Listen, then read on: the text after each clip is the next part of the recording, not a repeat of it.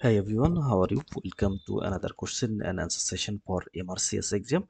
This is the question. A 63 years old man undergoes a radical cystectomy for carcinoma of the bladder. During the procedure, there is considerable venous bleeding. What is the primary site of venous drainage of the urinary bladder? So it is uh, one of the long question, but uh, the actual question is very short. That means what is the primary site of venous drainage of the urinary bladder. Here the options options are vesicoprostatic venous plexus, internal iliac vein, external iliac vein, gonadal vein, and common iliac vein. Uh, first of all, let's see some of the picture here. We can see this is the urinary bladder. This is the urinary bladder, and here we can see the other structure here, such as the external iliac vein, uh, here common iliac vein common iliac vein external internal iliac vein and these iliac veins are relatively uh, away from the bladder. So uh, it is not possible for bladder to uh, drain the blood directly into the internal iliac vein and external iliac vein but we can see there is a plexus around the urinary bladder.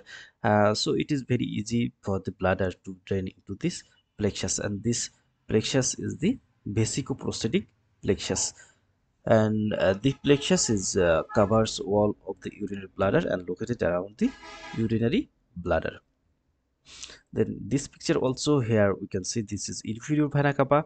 And here common iliac vein right and left side. Then internal iliac vein and external iliac vein.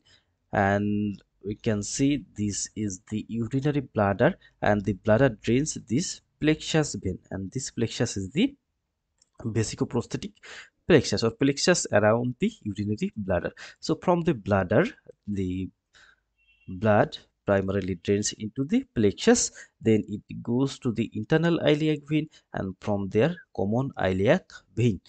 So the urinary bladder, it cannot drain directly into the common iliac vein or external or internal iliac vein.